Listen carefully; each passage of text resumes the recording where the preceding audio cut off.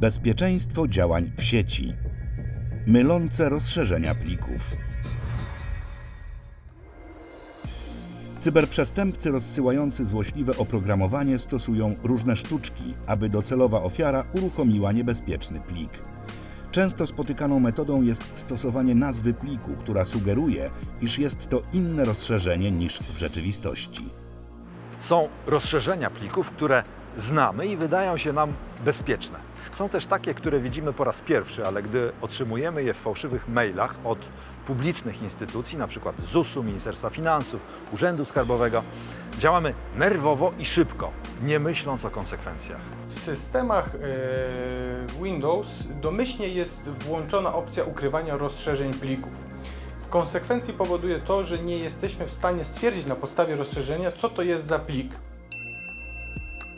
Cyberprzestępca nazywa plik w znany nam sposób. Opcja ukryj rozszerzenia znanych typów plików jest aktywna. Część nazwy po kropce sugeruje znany i bezpieczny format plików. W rzeczywistości to plik z rozszerzeniem exe, zawierający niebezpieczne oprogramowanie. Aby przekonać się, z jakim plikiem mamy do czynienia, należy wyłączyć opcję ukryj rozszerzenia znanych typów pliku.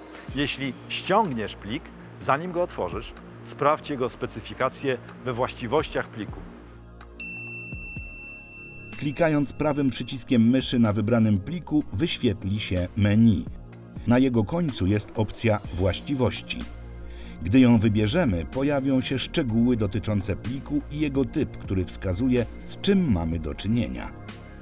Aby odznaczyć opcję Ukryj rozszerzenia znanych typów plików, należy wejść do opcji folderów i w zakładce Widok wybrać stosowną opcję. Warto wiedzieć, że opcja ukryj rozszerzenia znanych typów plików jest w systemie Windows domyślnie zaznaczona. Aby widzieć wszystkie rozszerzenia plików i zachować bezpieczeństwo, powinniśmy świadomie ją odznaczyć. Istnieje wiele rozszerzeń plików, które mogą zainfekować system operacyjny. Jeśli w wiadomości e-mail otrzymasz pliki z podejrzanym rozszerzeniem, zachowaj ostrożność, a najlepiej ich nie otwieraj.